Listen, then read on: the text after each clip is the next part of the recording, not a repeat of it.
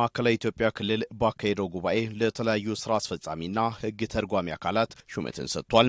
በዚህ መሰረትም ዶክተር ዲላሞ ቶሬ የክልሉ የመንግስት ዋና መንግስት ተጠሪና የማዕከላዊ ኢትዮጵያ ክልል ብልጽግና ፓርቲ ቅርንጫፍ ጽህፈት ቤት ኃላፊ፣ አቶ አንተነ ፍቃዱ የክልሉ ምክትል ርዕሰ መስተዳድር እንደዚሁም የማህበራዊ ክላስተር አስተባባሪና የክልሉ ትምህርት ቢሮ ኃላፊ፣ አቶ ይሁን አሰፋ የክልሉ መንግስት ረዳት የመንግስት ተጠሪና የፖለቲካና ርዕዮተ ዓለም ዘርፍ ኃላፊ፣ አቶ ይግለጡ አብዛን ደግሞ የክልሉ መንግስት ረዳት የመንግስት ተጠሪና የፖለቲካና አደረጃጀት ዘርፍ ኃላፊ ሆነው በምክር ቤቱ ተሹሟል።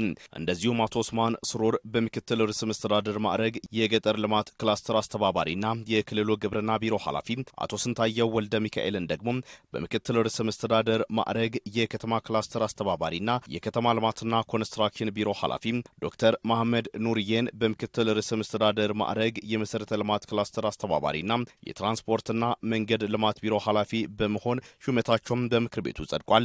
አቶ ኤርሲኖ አቡሬን የክልሉ ጠቅላይ ፍርድ ቤት ፕሬዝዳንት እንደዚሁም ወይዘሮ ትክክል ጣሰው የክልሉ ጠቅላይ ፍርድ ቤት ምክትል ፕሬዝዳንት ሆነው በምክር ቤቱ ተሹሟል። በምክር ቤቱ ከተሾሙ አስፈጻሚዎች መካከል በምክትል ርዕሰ መስተዳደር ማዕረግ የገጠር ክላስተር አስተባባሪና የማዕከላዊ ኢትዮጵያ ክልል የከተማ ልማትና ኮንስትራክሽን ቢሮ ኃላፊው አቶ ስንታየ ወልደ ሚካኤል አዲስ ተሿሚ አመራሩ ቀልጣፋና ፍትሐዊ አገልግሎትን ለክልሉ ነዋሪ ሊሰጥ እንደሚገባ አስገንዝበው እርሳቸውም የተጣለባቸውን ኃላፊነት በቁርጠኝነት እንደሚወጡም አረጋግጠዋል። ዴሞክራሲያዊ የሆነ የስልጣን ሽግግር ነው የተደረገው። እጅግ በመፈቃቀድ በመፈቃቀር ላይ የተመሰረተ ዴሞክራሲያዊ በሆነ መንገድ የተካሄደ የሹመት ሽግሽግ ነው ያለው። ስለዚህ ይሄ አመራር ከፍተኛ የሆነ ኃላፊነት ተጥሎበታል ማለት ነው። የመጀመሪያው አሁን ክልሉን መልሶ በማደራጀት ስራ ውስጥ ያሉ ቀሪ ስራዎች ትኩረት እንደሚሰጥና ክልሉን በሁለት እግሩ የማቆም ስራ በጣም እጅግ ወሳኝና የአመራሩን ዲቮሽን የሚጠይቅ ነው፣ መሰጠትን የሚጠይቅ ነው። ከዛ በኋላ ክልሉም ይሁን አዳዲስ የተፈጠሩ መዋቅሮችን ጨምሮ ያለው አጠቃላይ መዋቅር ውጤትን ይፈልጋል ህብረተሰቡ። ስለዚህ ውጤታማ የሆነ አገልግሎት በሁሉም የስራ መስኮች ላይ እንዲያቀርብ ይጠይቃል ማለት ነው። ስለዚህ እነዚህን ልማትን የማቀላጠፍ፣ ሰላሙን የማስጠበቅ፣ አገልግሎትን የማቅረብ እና ህዝቦች አካባቢ ያሉትን ጥያቄዎች እየፈቱ የመሄድ ህዝቡን የማቀራረብና በአንድ እይታ አይቶ ህዝቡን ፍትሐዊ በሆነ መንገድ አመራር እየሰጡ መሄድ ከዚህ አመራር የሚጠበቅ ነው። በዋናነት መፍጠን፣ በሁለተኛ ደረጃ ደግሞ ፍትሐዊ አገልግሎት ማቅረብና ቀልጣፋና ውጤታማ መሆን ይጠይቃል ማለት ነው። ስለዚህ ይህን ኃላፊነት ነው ማለት ነው ዛሬ የወሰደው አመራር የወሰደው። ባለፉት ዓመታት ነባሩ ክልል የህዝቦችን ጥያቄ ለመመለስ አቋም ወስዶ ሲሰራ እንደነበርና ይህም ዛሬ ላይ ለተመዘገበው ስኬት መሰረት መሆኑን አስረድተዋል።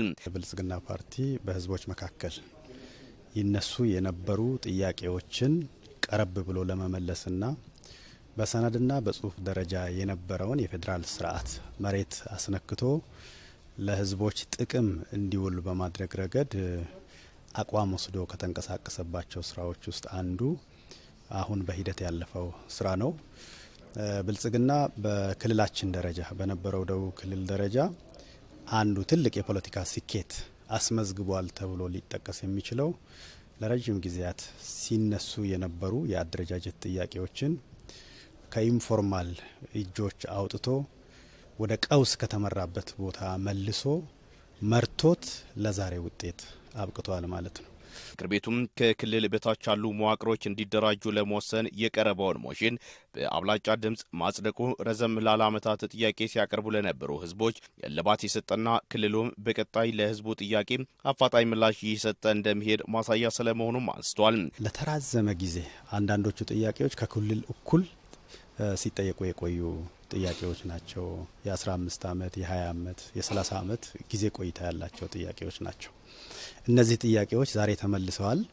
ምላሽ ያገኙት በዚህ ጥያቄ መልስ ውስጥ credit ሊወስድ የሚችለው ፓርቲውና መንግስቱ ነው።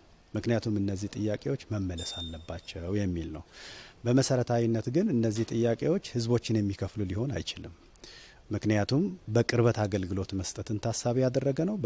በቅርበት ልማትን ማፋጠን ታሳቢ ያደረገ ነው እንጂ ከዛ ያለፈ የህዝቦችን ግንኙነት የህዝቦች መካከል ላይ ያለውን መስተጋብር በፍጹም ሊነኩ የሚችሉ አይደሉም። ምክንያቱም የህዝቦች ግንኙነት ከመዋቅሮች ከአደረጃጀቶች በላይ ስለሆነ ማለት ነው። ይህን ጥያቄ ሲያነሱ ለነበሩ አካላትም ይህን ጥያቄ ዛሬ ምላሽ በማግኘታችሁ እንኳን ደስ አላችሁ ለማለት እፈልጋለሁ።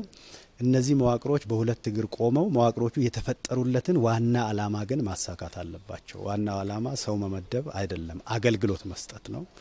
ለህዝቦች ቀልጣፋ ወጪ ቆጣቢ አገልግሎት መስጠት ነው። ልማት ማቀላጠፍ ነው። ህዝቡ የሚፈልገው ይሄንን ነው። መዋቅር የሚያስፈልገው ምክንያት ይሄ ነው።